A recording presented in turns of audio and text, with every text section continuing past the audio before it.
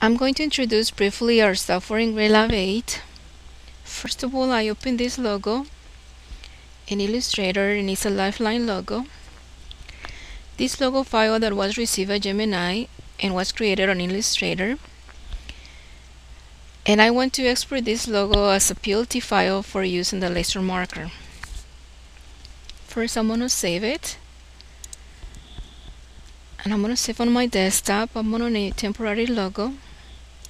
AI save on choose any version. I'm gonna select Illustrator 8 okay. Then I'm gonna open in EngraveLab 8 and this is our software. And I'm gonna open from my desktop. Temporary logo. And this screen and toolbar have been pre-configured with the settings and tools that are most frequently used. And these tools that I'm going to use from start to end first select logo. In this tool select all the vectors in the file. Then I'm going to select a group. Many logos arrive with grouped objects and those groups must be turned into single lines and then I'm going to press a group icon as many times as necessary until the ungroup icon turns gray. Of course each logo might be different. Then I'm going to select all. I'm going to resize the logo at 1 inch height. Apply. And resize at Jimani, we always use a standard logo height at 1 inch height because sometimes we fill logos in EngraveLab and we cannot control the fill spacing if we don't control the height of the logo. I'm going to select Make Path. This step separates inside lines from outside lines. For example, the software has to understand the letter O that has a hole in the center and it has to treat the inside of the O differently from the outside of the O. Then I'm going to select inline and this tool allows us to thin out the logo as a small amount to compensate for the thickness of the laser beam when it marks the logo. The smaller and more detailed the logo is when it's marked, the more important the inline or thinning out process becomes on inline. We just put a, a number here and select a different color than the original.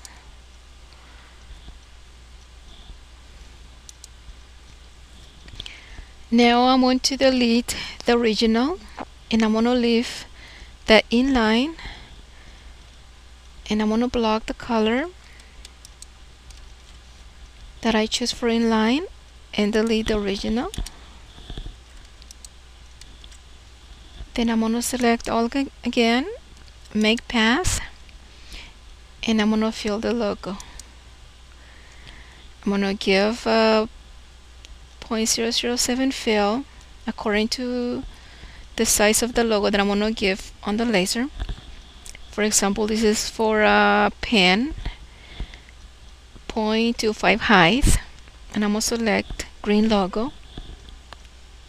And OK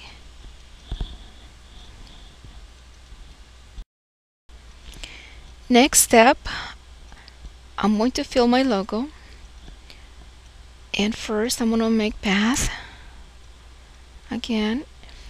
And I want to show you also this uh, icon that is says show fill. And this icon only tells me if it's going to fill the right way my logo. For example, right here is telling me that something is wrong with this number. And is not connected. So I'm gonna connect it. Now it's fine. So I unchecked it. Now I can hit fill logo and I'm gonna fill it at 0.007 it's the number of lines that I'm gonna give to this logo for a pen and the size of the pen is 0.25 height. And I'm gonna select green color. Now I'm gonna block the fill. And I'm gonna delete the outside line. And then I'm going to uh, select all break path.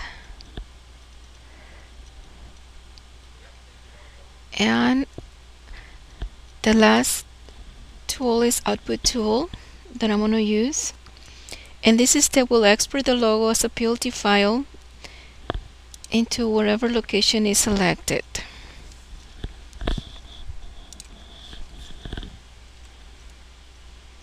I'm going to select junk and give the name as a test 10 and I finish my logo. This step of the fill is not necessary if you're going to fill the logo in ProLase direct on the laser marker.